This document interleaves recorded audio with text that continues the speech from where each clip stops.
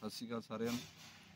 ਸਾਥੀਓ, ਪੰਜਾਬ ਦੇ ਵਿੱਚ ਬੇਰੁਜ਼ਗਾਰੀ ਕਾਰਨ ਅੱਜ ਜਿਹੜਾ ਪੰਜਾਬ ਦਾ ਨੌਜਵਾਨ ਹੈ, ਉਹਦੇ ਵਿੱਚ ਇੱਕ ਹੋੜ ਲੱਗੀ ਹੋਈ ਹੈ। ਮੈਂ ਕਿਸੇ ਨਾ ਕਿਸੇ ਤਰ੍ਹਾਂ ਪੰਜਾਬ ਛੱਡ ਕੇ ਵਿਦੇਸ਼ ਵਿੱਚ ਜਾ ਵਸਾਂ। ਇਸ ਦੇ ਇੱਕ ਜਿਹੜਾ ਨਜਾਇਜ਼ ਫਾਇਦਾ ਜਿਹੜੇ ਏਜੰਟ ਬੈਠੇ ਨੇ ਧੋਖਾ ਧੜੀ ਦੇ ਕਸਾਈ ਮੈਂ ਤਾਂ ਸਮਝਦਾ ਕਿ ਬੈਠੇ ਨੇ, ਜਿਹੜੇ ਭੋਲੇ ਭਾਲੇ ਲੋਕਾਂ ਤੋਂ ਠੱਗੀ ਮਾਰਦੇ ਨੇ, ਪੈਸੇ ਇਕੱਠੇ ਕਰਦੇ ਨੇ। ਇਹਦੇ ਵਿੱਚ ਇਹ ਸ਼ਿਕਾਰ ਹੋਏ ਸੀਗੇ ਸਾਡੇ ਪਿੰਡ ਦੁੱਗਰੀ ਤੋਂ ਸਤਪਾਲ ਜੀ ਮੇਰੇ ਨਾਲ ਬੈਠੇ ਨੇ। ਇਹਨਾਂ ਤੋਂ ਵੀ ਇਹ ਵੀ ਠੱਗੀ ਠੋਈ ਦੇ ਸ਼ਿਕਾਰ ਹੋਏ ਸੀਗੇ। ਇਹਨਾਂ ਤੋਂ ਵੀ ਕਾਫੀ ਪੈਸੇ ਜਿਹੜੇ ਆ, ਉਹ ਏਜੰਟ ਮੰਗ ਕਰਦਾ ਸੀ। ਪਰ ਸਟਾਰਟਿੰਗ ਦੇ ਵਿੱਚ ਉਹਨੇ ਇਹਨਾਂ ਤੋਂ 25000 ਰੁਪਇਆ ਜਿਹੜਾ ਮੰਗਿਆ ਤੇ ਉਹਦੇ ਵਿੱਚ ਨਾ ਤਾਂ ਇਹਨਾਂ ਨੂੰ ਕਿਤੇ ਬਾਹਰ ਭੇਜਿਆ ਉਹਨੇ, ਨਾ ਹੀ ਕਿਸੇ ਕੋਈ ਇਹਨੂੰ ਆਫਰ ਲੈਟਰ ਜਾਂ ਹੋਰ ਕੋਈ ਜੌਬ ਕਾਰਡ ਕਿਸੇ ਵੀ ਤਰ੍ਹਾਂ ਦਾ ਕੋਈ ਵੀ ਜਿਹੜਾ ਕਾਗਜ਼ ਪੱਤਰ ਨਾ ਦਿੱਤਾ। ਔਰ ਇਹ ਪਿਛਲੇ 7-8 ਮਹੀਨੇ ਤੋਂ ਲਗਭਗ ਚੰਡੀਗੜ੍ਹ ਮੋਹਾਲੀ ਦੇ ਗੇੜੇ ਮਾਰਦੇ ਆਪਣੇ ਕਿਰਾਇਆ ਭਰਦੇ ਸੀ। ਪਰ ਉਹਦੇ ਵਿੱਚ ਵਿੱਚ ਇਹਨਾਂ ਨੇ ਮੇਰੇ ਕੋਲ ਆ ਕੇ ਦੱਸਿਆ ਤੇ ਆਪਾਂ ਵਾਪਸ ਜਾ ਕੇ ਇਹਨਾਂ ਦੇ ਪੈਸੇ ਦਵਾਏ ਆ।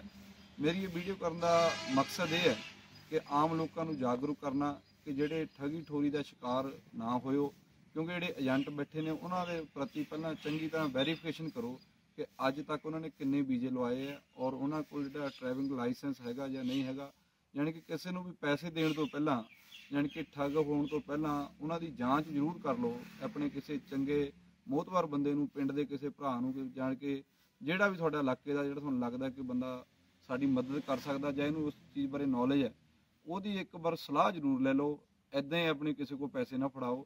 ਇਹ ਹੁਣ ਤੁਹਾਨੂੰ ਦੱਸਣਗੇ ਕਿ ਕਦੋਂ ਇਹਨਾਂ ਨੇ ਪੈਸੇ ਦਿੱਤੇ ਸੀ ਤੇ ਕਦੋਂ ਮਿਲੇ ਆ। ਸਤਿ ਸ਼੍ਰੀ ਅਕਾਲ ਜੀ ਸਾਰਿਆਂ ਨੂੰ, ਸੁਣਨ ਵਾਲਿਆਂ ਨੂੰ ਵੀਡੀਓ ਭਾਜੀ ਮੈਂ ਆਪਣੀ ਕਹਾਣੀ ਇਦਾਂ ਦੱਸਦਾ ਕਿ 8 ਮਹੀਨੇ ਹੋ ਗਏ। ਮੈਂ ਚੰਡੀਗੜ੍ਹ ਪਾਸਪੋਰਟ ਲਾਇਆ ਸੀਗਾ। ਉਹਨੇ ਮੈਨੂੰ ਵਰਕ ਪਰਮਿਟ ਲਈ ਕਿਹਾ ਵੀ ਆਪਾਂ ਤੈਨੂੰ ਲੈ ਦਾਂਗੇ ਕੈਨੇਡਾ ਵਾਸਤੇ। 25000 ਰੁਪਏ ਉਹਨੇ ਮੇਰੇ ਤੋਂ ਲੈ ਲਿਆ।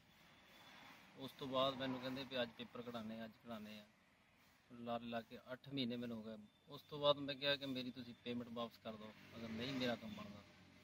ਲੇਕਿਨ ਉਹਨੇ ਲਾਰਿਆਂ ਦੇ ਵਿੱਚ ਮੈਨੂੰ ਰੱਖਿਆ। ਮੇਰੀ ਪੇਮੈਂਟ ਨਹੀਂ ਵਾਪਸ ਕਰ ਰਹੇ ਸੀ।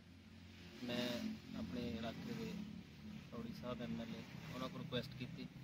ਉਹਨੇ ਮੇਰੀ ਮਦਦ ਕੀਤੀ ਆ, ਉਹਨੇ ਮੈਨੂੰ 25000 ਰੁਪਏ ਲੈ ਕੇ ਦਿੱਤਾ। ਮੈਂ ਉਹਨਾਂ ਦਾ ਤਹਿ ਦਿਲੋਂ ਸ਼ੁਕਰਗੁਜ਼ਾਰ ਹਾਂ ਤੇ ਸਾਰੇ ਭਰਾਵਾਂ ਦਾ ਬਾਕੀ ਸਾਰਿਆਂ ਦਾ ਸ਼ੁਕਰ। ਇਹਨਾਂ ਨੂੰ ਮੇਰੇ ਨਾਲ ਮਿਲਾਇਆ ਸੀ ਪਿੰਡ ਦੁਗਰੀ ਤੋਂ ਪੰਚਾਇਤ ਮੈਂਬਰ ਨੇ, ਸਾਡੇ ਸੋਮਨਾਥ ਜੀ। ਮੈਂ ਇਹਨਾਂ ਦਾ ਵੀ ਸ਼ੁਕਰਗੁਜ਼ਾਰ ਕਰਦਾ ਕਿ ਇਹਨਾਂ ਨੇ ਇਹਨਾਂ ਦੀ ਸਮੱਸਿਆ ਮੇਰੇ ਕੋਲ ਲੈ ਕੇ ਆਂਦੀ ਤੇ ਆਪਾਂ ਇਹਨਾਂ ਦਾ ਹੱਲ ਕੀਤਾ। ਇਸ ਵੀਡੀਓ ਦਾ ਇੱਕੋ ਹੀ ਮਕਸਦ ਆ ਕਿ ਆਪਾਂ ਕਿਸੇ ਨੂੰ ਵੀ ਪੈਸੇ ਦੇਣ ਤੋਂ ਪਹਿਲਾਂ ਉਹਦੀ ਪੂਰੀ ਤਰ੍ਹਾਂ ਚੰਗੀ ਤਰ੍ਹਾਂ ਜਾਂਚ ਕਰ ਲਈਏ। ਕਿ ਉਹ ਕਿਤੇ ਠੱਗੀ ਠੋਰੀ ਦਾ ਕੋਈ ਸ਼ਿਕਾਰ ਨਾ ਹੋਣ। ਧੰਨਵਾਦ।